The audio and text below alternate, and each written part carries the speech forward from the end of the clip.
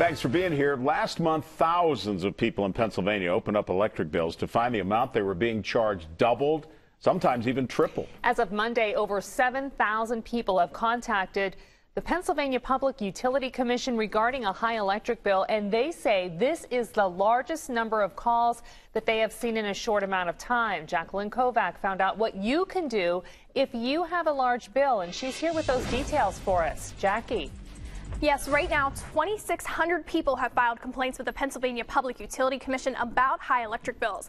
And since the state attorney general announced people could call her office, another 1,900 have done so. But what can you still do? And I'm asking the question. Hundreds of 6 News viewers wrote on our Facebook wall about their high electric bills and the difficulties of trying to pay for them. Bills for PA customers rose two to three times. Most of them had signed up for variable rate plans. Many customers have run into the issue during the past several months where they got an introductory low rate. Uh, and after a certain period of time, that rate was converted into a variable rate, which led to the high bills in late January and, and February. On Monday, the Public Utility Commission announced it had received more than 2,600 informal complaints about high electric bills. That's roughly 10 times more than the same time last year.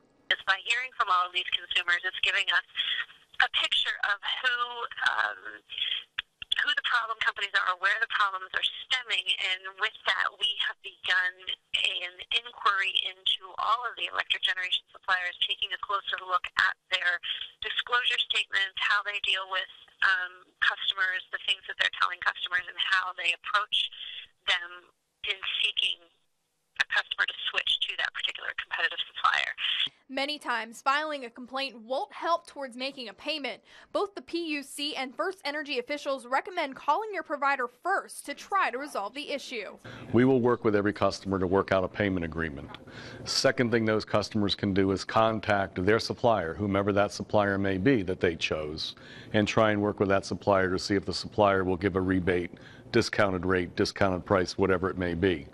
Surgeoner says that if you still are not satisfied with any resolution you receive from First Energy or your electric provider, then you are urged to file a complaint with the Pennsylvania Utility Commission or the State Attorney General's office. Now, that information on how to contact the UPC or the State Attorney General's office will be available on our website, wjactv.com. Reporting live, Jackalyn Kovac, 6 News. A lot of